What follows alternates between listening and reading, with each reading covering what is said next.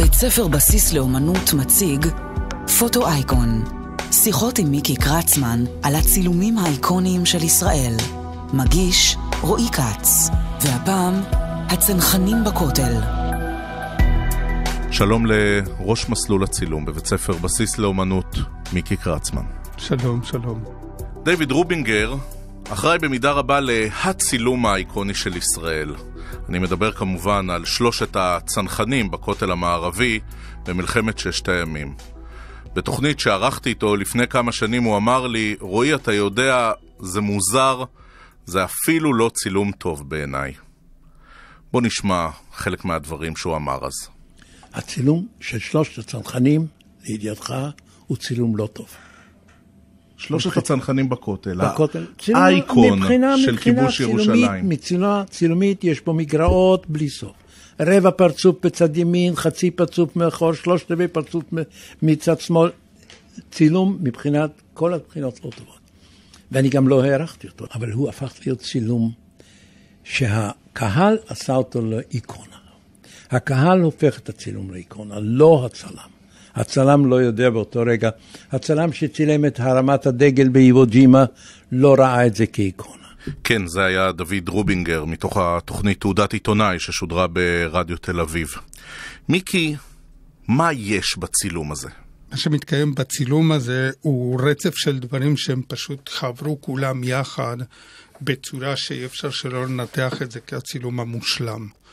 ואני אומר הצילום המושלם, קודם כל רובינגר הסביר במספר רעיונות שהזווית מלמטה שכל כך מאדירה, כמעט צילום סובייטי, כן, שמעצימה, מאדירה את האנשים, היה פונקציה של תנאים פיזיים שהוא לא, רצה לתפוס גם את הכותל ולא הצליח להתרחק בגלל שהיה צפוף שם, זה עוד לפני שמטאטאים את כל הבתים שם, והרחבה היא באמת קטנה. ואז הדרך היחידה שלו היה להתכופף קצת כדי לתפוס אותם יחד עם הכותל. אבל הדבר הזה כבר מייצר איזושהי האדרה של האנשים האלה שתורמת לצילום. הדבר השני זה היפיוף הזה באמצע הצילום. בחור בלונדיני מוריד את הקסדה. הכי מוריד הוליווד. את הקסדה כמעט כמעשה דתי הפוך, כן? כמעשה נוצרי כמעט, כן? של הסרת הכיסוי ראש כשאתה נכנס למקום קדוש.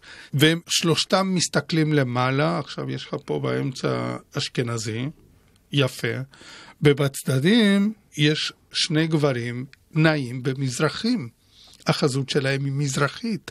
עכשיו, יש לך פה גם קיבוץ גלויות בתוך אותו אירוע, מושלם, הם כולם מסתכלים למעלה, הבחור שמצד שמאל של התמונה אפילו לא מסתכל, שלושתם לא מסתכלים בדיוק לאותו כיוון. הם בפרספקטיבות שונות, זאת אומרת, כאילו האירוע שקורה מסביבם הוא גדול מהכותל עצמו.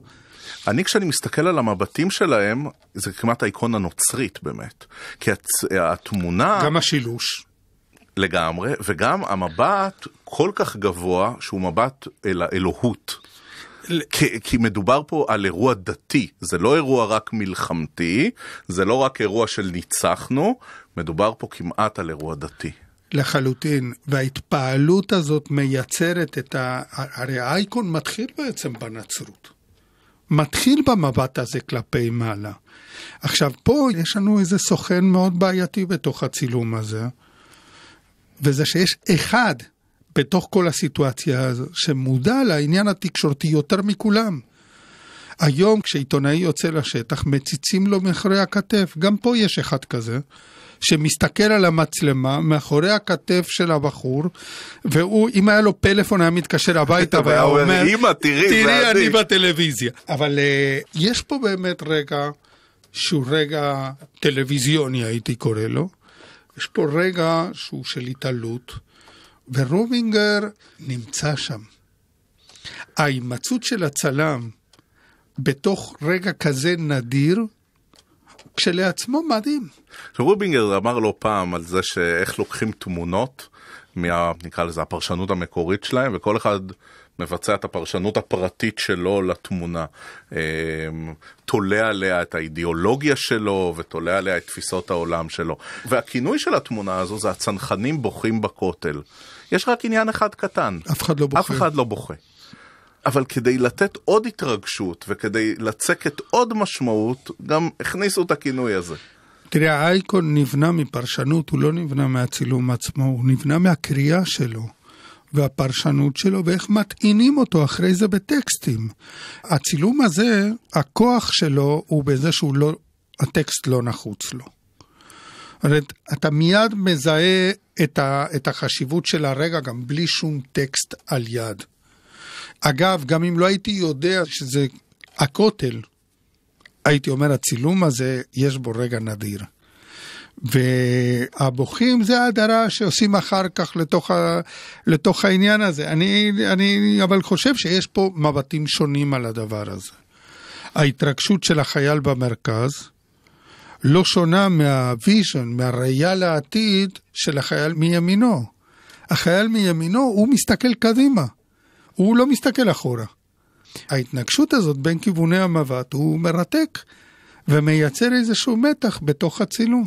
ולמרות שהם חיילים, ושניים מהם לפחות, מי שמקדימה גם עם uh, קסדות, ולמרות שמסתיים פה אירוע uh, מלחמתי מאוד מאוד כואב, כיבוש העיר העתיקה עלה בחיי אדם, ובכלל מלחמת ששת הימים הייתה מלחמה יקרה מאוד בחיי אדם למרות הניצחון הגדול.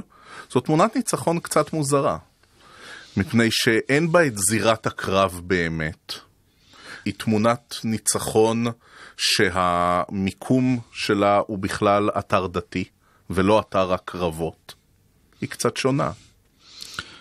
תראה, הצילומים החשובים באמת, או האייקונים, הם לא נופלים על טבולה ראסה. הם נוצרים מתוך איזשהו ידע שכבר קיים אצל הצופה. ובמקרה הזה, כל הדברים האלה שאתה מתאר ביחס למלחמה, למלחמה קשה, למלחמה שאגב, הניצחון שלה לא היה כזה ברור, לא לפני ולא אחרי. כל הידע הזה בונה את היכולת שלנו לעכל את, ה, את הצילום הזה. אבל עד כמה המשמעות של המיקום, של הלוקיישן, שהרי אם אנחנו חוזרים אחורה, אם החייל הסובייטי לא תולה את הדגל על הרייכסטאג, שהוא סמל, אם הצנחנים לא מצולמים בכותל, שהוא סמל, אנחנו בעצם פוגעים פגיעה אנושה באיקוניות של הצילום. תראה, לחלדי היו צילומים מצוינים, רק הם לא היו ברייכסטאג, והוא העדיף את של הרייכסטאג כי הוא מסמל את מה שהוא מסמל. אבל בניגוד לצילום של קאפה, שבעצם אנחנו לא יודעים איפה זה בכלל בספרד, או בניגוד לתמונות מווייטנאם, שאנחנו כמעט לא מסוגלים לתת איזה זיהוי מקום מדויק, פה המיקום בונה במידה רבה את האייקון. אבל תסתכל, רגע לפני הצילום הזה, מוטה גור עומד למעלה ואומר הר הבית בידינו. הר הבית. זאת אומרת, מסתכלים על הדבר הזה כהר הבית, והטקסט הזה של מוטה גור הוא גם אייקון. זה היה גולת הכותרת של כל הקרבות כולם. אם תרצה, של כל המלחמות כולם. אנחנו לא נעסוק פה בציונים. וגם כל הדברים שאנחנו אומרים הם נכונים לפרק הזמן שאנחנו מקליטים את סדרת הפודקאסטים שלנו. אבל זה ככל הנראה הצילום האיקוני של ישראל.